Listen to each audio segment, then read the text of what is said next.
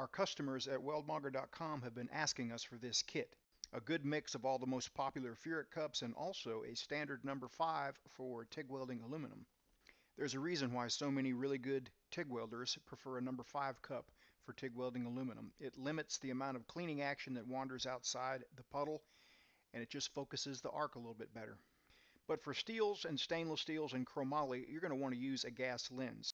This one will let you use all the popular Furick cups from the 8 all the way up to the BBW, clear and ceramic. The number 8 Pro Clear works great on steel and stainless steel, gives great shielding and really good visibility.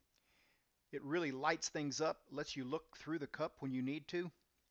But mainly, if you're having trouble seeing that puddle, it really does light the way just like a light bulb.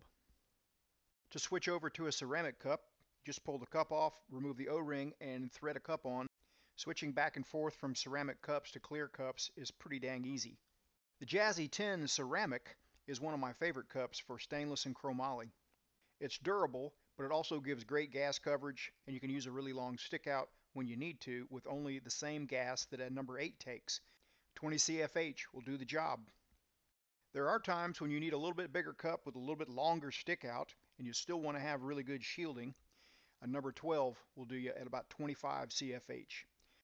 This is plain carbon steel, but it's still doing a great job shielding. Two different insulators are included to make sure it'll fit your torch, along with three back caps, along with three pieces of 332 tungsten. That was the 17 kit. This is the 920 kit. This little collet body also works with O-rings for clear cups.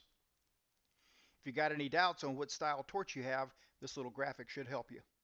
A quick glance at your collet body should tell you which torch you have.